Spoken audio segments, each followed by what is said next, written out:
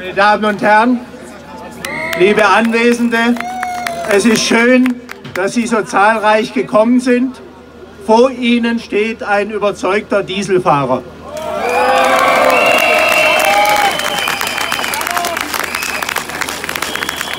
Am heutigen Tag geht es mir aber nicht darum, dass nur Leute wie ich, die sich einen neuen Diesel der Euronorm 6D leisten können, in Stuttgart Auto fahren können, sondern es muss wieder für alle Dieselfahrer in der Region möglich werden, meine Damen und Herren.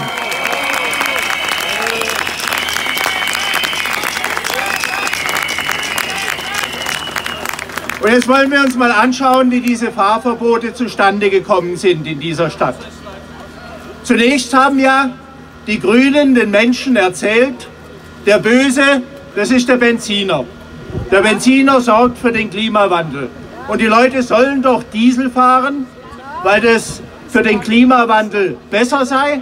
Und deshalb gab es auch Subventionen auf den Dieselpreis, meine Damen und Herren. Und dann haben grüne Ideologen gemerkt, dass allein mit dem Kampf gegen den Benziner das Automobil nicht zu besiegen ist. Dann hat man in einer zweiten Runde den Feinstaub entdeckt. Da hat man dann gemerkt, der Feinstaub, der kommt eigentlich gar nicht aus dem Auspuff.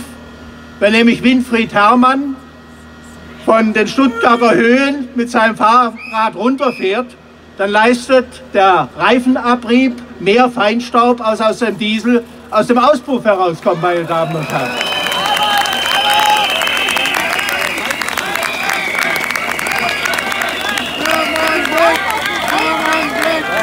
Und dann, als es mit dem Feinstaub nichts war, hat der Autohasser Hermann mit einigen anderen zusammen das Stickoxid entdeckt. Und mit diesem Kampf gegen den Diesel, meine Damen und Herren, wird alles in diesem Land aufs Spiel gesetzt, was Generationen erwirtschaftet haben.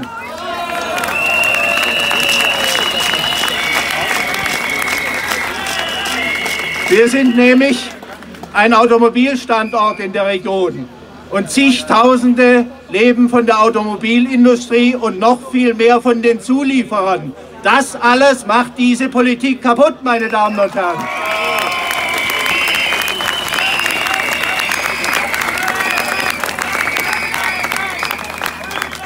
Und wer zahlt die Rechnung? Die Rechnung zahlen Menschen, die im guten Glauben einen Diesel gekauft haben. Nicht um zum Vergnügen durch die Landschaft zu fahren, sondern beispielsweise um jeden Tag nach Stuttgart einzupendeln, um dort zu arbeiten und ihre Familien zu ernähren. Das ist der Grund, warum die Menschen Diesel gekauft haben. Und wer ihnen das verbieten will, der greift in ihre Freiheitsrechte ein und in ihr Eigentum. Und das muss ein Ende haben, meine Damen und Herren.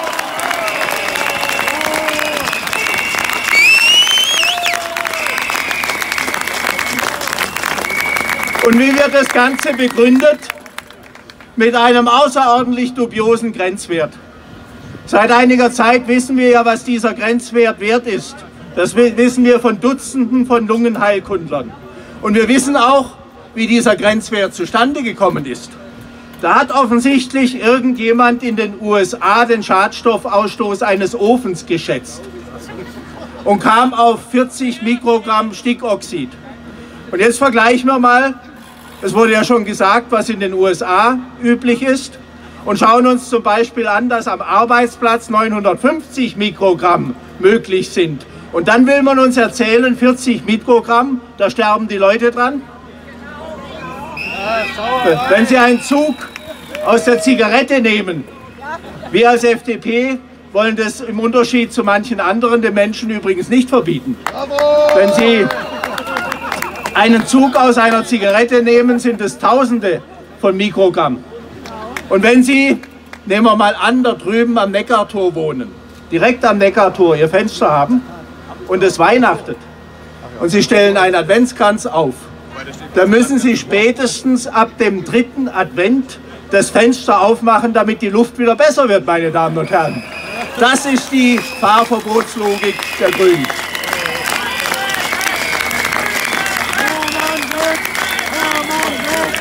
Und dann, und dann hat man den juristischen Weg eingeschlagen. Die ersten freundlichen Grüße an die Kollegen aus der CDU-Landtagsfraktion. Man hätte gegen das Urteil eines sehr eifrigen, sage ich jetzt mal vorsichtig, eines sehr eifrigen Stuttgarter Verwaltungsrichters, da hätte man in Berufung gehen können. Dann hätten wir Zeit gewonnen. Dann hätten wir jetzt kein Fahrverbot, meine Damen und Herren. Aber aus Angst vor den Grünen ist man zu einem Sprungrevisionsverfahren gekommen und deshalb hat die CDU, meine Damen und Herren, erheblichen Anteil an der Tatsache, dass es in Stuttgart jetzt Fahrverbote gibt.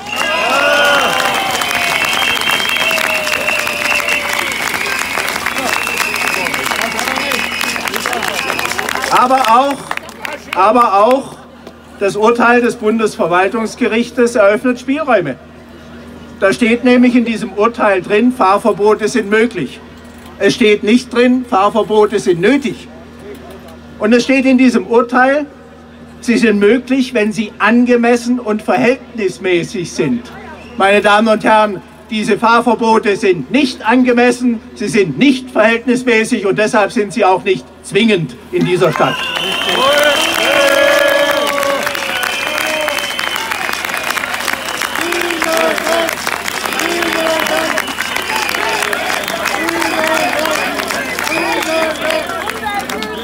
Ja, und jetzt gibt es eine unheilige Allianz zur Durchsetzung von Fahrverboten mit dem eigentlichen Ziel, den Verbrennungsmotor und das Automobil zu kaputt zu machen. Das ist das Ziel von Winfried Herrmann, meine Damen und Herren.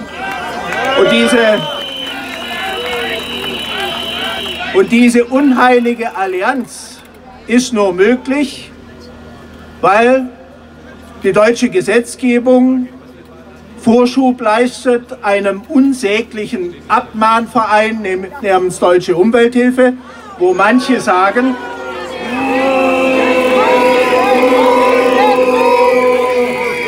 wo manche sagen, meine Damen und Herren, diese deutsche Umwelthilfe habe mehr mit der organisierten Kriminalität zu tun als mit dem Umweltschutz.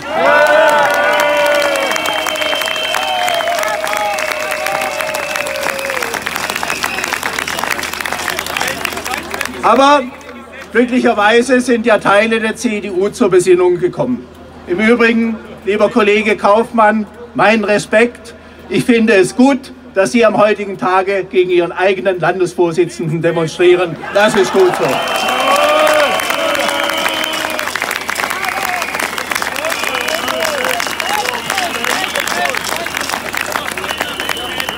Die CDU hat nämlich kürzlich in einer Klausur in Schöntal beschlossen, wir wollen diese Fahrverbote nicht, wir wollen auch diesen Grenzwert nicht, wir wollen den Grenzwert angreifen um von diesen Fahrverboten wieder runterzukommen.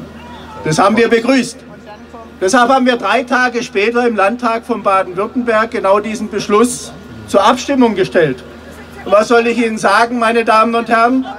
Die baden-württembergische CDU ist mit vollem Mund ins Kloster Schöntal hineinspaziert und mit voller Hose im Landtag von Baden-Württemberg wieder rausgekommen.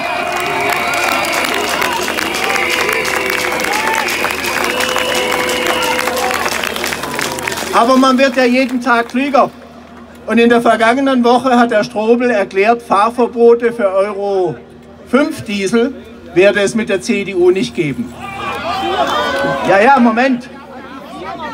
Also offensichtlich ist es ja eine politische Entscheidung. Der politische Wille des Herrn Strobel reicht aus, um Fahrverbote für Euro 5 zu verhindern. Dann frage ich mich allerdings, warum sein politischer Wille nicht ausgereicht hat, um die Euro 4 Fahrverbote zu verhindern. Das passt nämlich nicht zusammen, meine Damen und Herren.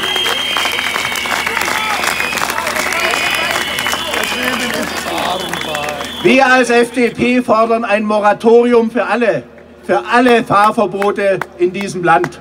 Denn sie sind nicht notwendig, meine Damen und Herren. Ein Moratorium von zwei Jahren. In der Zeit schaffen wir es, mit Maßnahmen zur Luftreinhaltung die Luft noch sauberer zu machen. In der Zeit schaffen wir es hoffentlich auch zu belegen, dass dieser Grenzwert außerordentlich dubios ist. In dieser Zeit schaffen wir es, vielleicht alternative Antriebssysteme weiterzubringen. Wasserstofftechnologie, synthetische Kraftstoffe. Das ist die Zukunft, nicht allein die Elektromobilität.